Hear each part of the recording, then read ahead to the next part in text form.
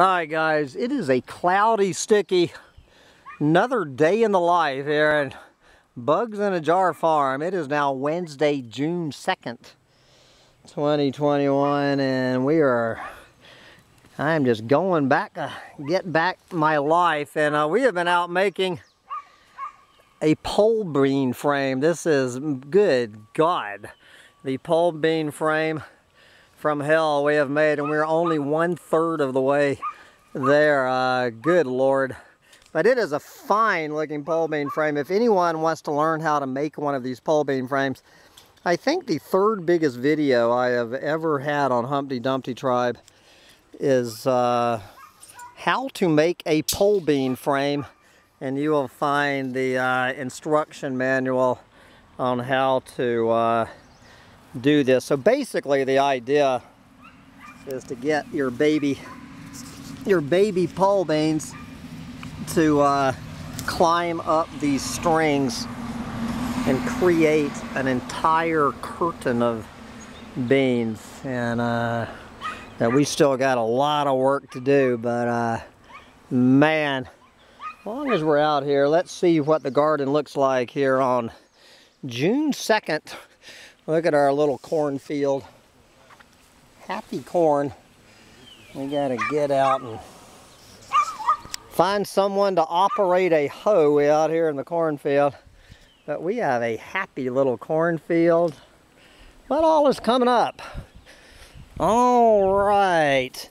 Man, the, uh, good Lord, look at the collards. I planted them like three days ago. Okay, the lettuce, the lettuce is up the collards are up. Can't even remember what this is here. I have I have no memory what this is. Oh, spinach. The spinach is up. The uh, the broccoli is up. What were these? Nothing's up over here. Oh, this was cilantro and something. Anyway, nothing going on here yet. But we're going to be 90 degrees in a few days and everything is going to explode. Okay. Oh, the uh, cantaloupes. The uh, There we go.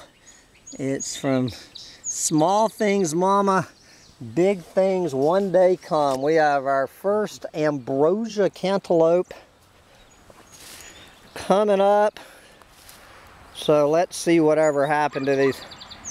These are the 45 cent tomatoes after all of that shit that I went through bringing these things up from Florida and the 45 cent tomatoes are already blooming.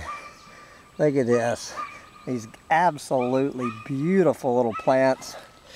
How are my two tomatoes from, uh, well, there you go. These two are to, look at those. We're soon to have some BLTs from the Florida tomatoes. Oh shit, the peppers are getting bit pretty bad. Uh-oh.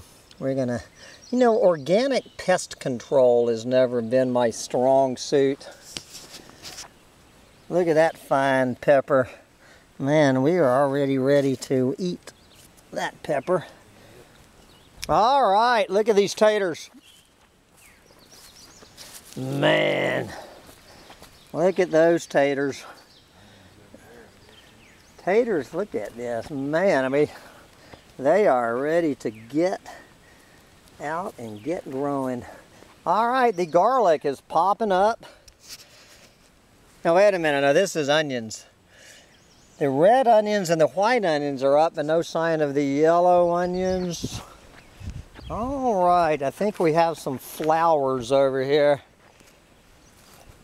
Flowers take a while. No sign of the zinnias or sunflowers. Here's the garlic.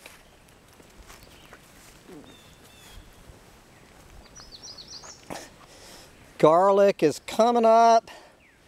I just put the okra in a few days ago. But it is a fine day in the garden. And uh, we're going to hold at our four foot fence for a while till we see uh, what kind of predation. Anyway, get out there and enjoy the garden while you still can. And we are off to the lumber mill to get more lumber for the pole bean frame. How many feet are we lacking still?